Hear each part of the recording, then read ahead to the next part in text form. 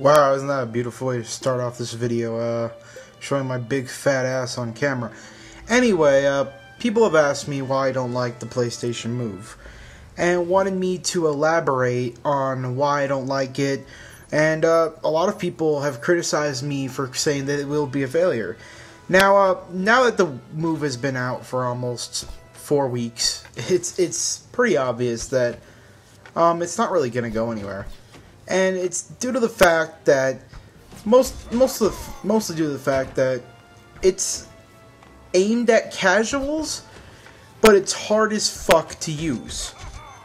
Now, uh, the problem with the move is that the majority of games that it's on support the DualShock, and anyone in their right mind will use the DualShock over the fucking move controller.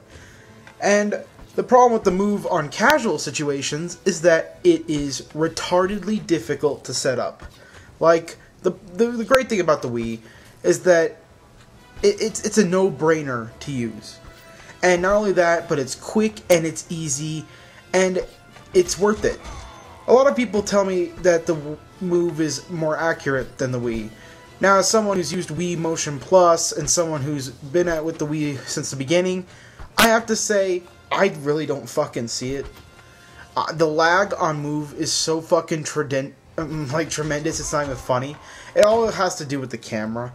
I mean, the fact that the camera has to process colors and has to process the fact that you know, you see the what they don't tell you on the box is that the color of the ball on the move is whatever color is not in the background of the photo. For me, it's pink because I don't have anything remotely close to pink in my background, so that's what the color it chose for me. You don't get to choose the color. It chooses the color for you based on what the camera can read easiest. And in my situation, it's pink. So, th- it, this is there are major problems with this. You see, the the Wii and the Move have the exact same technology, and that's what people don't understand. The difference between the Wii and the Move, in the sense that just the base product, is that the Wii does not have an accelerometer inside the controller, whereas the Move both has an accelerometer and it has the camera.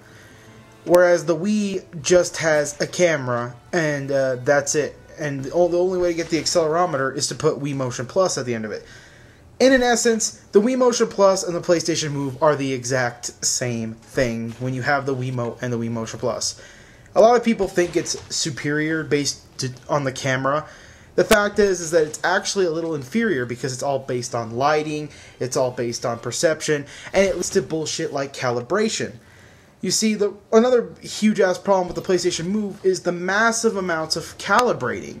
I have to calibrate like every once in a while, and every single time I enter a fucking sport and sports champions, and it, it's terrible. Another thing about the PlayStation Move is that it's all about distance, whereas the Wiimote is a lot. You see, the Wiimote camera, if you didn't know this, there's a camera inside the Wiimote. And the Wiimote camera isn't based on colors. Thus, it does not need a distance from it in order to read you. You see, it reads two lights shot fr- from the television on top from the sensor bar. There's two lights inside the sensor bar, two LED lights that you cannot see.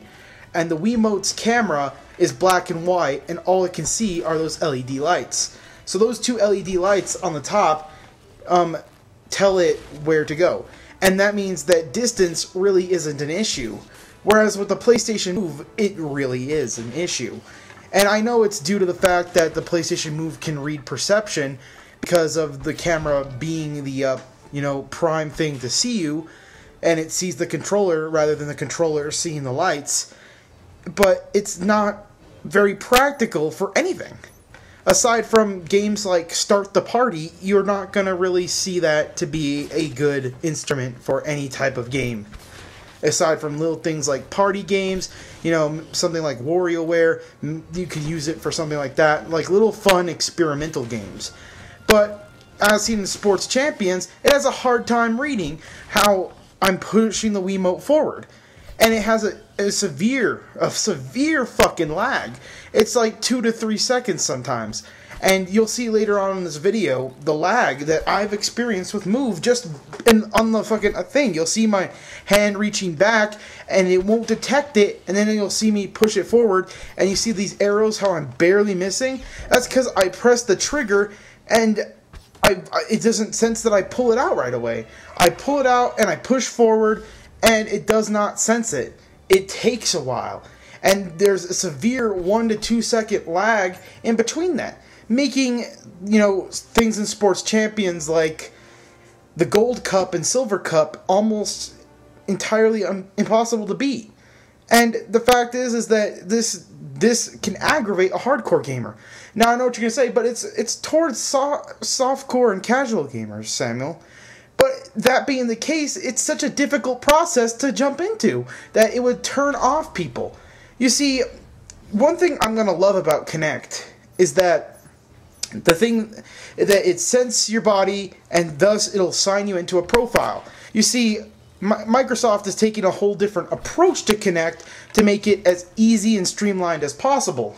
One huge ass problem I have with, you know, current gaming, you know, I want to play a couple of games of Halo with my friends is that I have to put in all these fucking game profiles. You know, they all have to have one. Then after I create all those, it's going to take forever to set up. Well, I only have to do that once with Kinect, and then, you know, they can all walk in towards the camera and sign in. That's something that will appeal to casuals. But Move takes no, it's not appealing to casuals at all because I have to calibrate the controller. I have to, you know, fucking calibrate it for each fucking remote. I have to make sure the remotes aren't the same color or won't be able to read it right. I have to make sure which one is the arrow, which one's not. It's just complete and utter idiocy. And it just makes everything extremely more complicated than the Wii. The reason I say that the Wii is superior is because it aims towards its general audience and it works better. Not only that, but it works better in the context of the game because although the PlayStation Move may be more advanced in terms of tech specs, it doesn't work in practice as well because the software isn't there and the camera isn't there. The camera is not at the point where it is a not very good quality, two it reads kind of slow, and three I have to like always keep the light in front of me. You see, with the Wiimote, it doesn't necessarily. You see, I was not even moving there, and my fucking hand on the person was jerking up and down, and it, it it's just terrible at reading what I want to do. You see, I pulled out here, I pulled out the arrow, but I just wanted to hold it back for a minute. But since I accidentally pushed forward a tiny little bit, it sensed me as lunging forward. Thus, I couldn't get my aim properly. And, you know, I couldn't wait to see where the fucking target was going to come up. This has caused major issues. I haven't even been able to pass the f- fucking silver tournament. I'm stuck there because of all the fucking lag I get. Now, this may be due to the lighting or whatever the fuck in my room, but that's a huge ass issue if that's the case. You see, at least with Microsoft, it, it reads infrared and it can see like the, the basic foundations of your body. Whereas the move, it just falls flat on a lot of accounts. It feels like a weird middle step between Wii and Kinect that is pretty fucking bad. Sam out.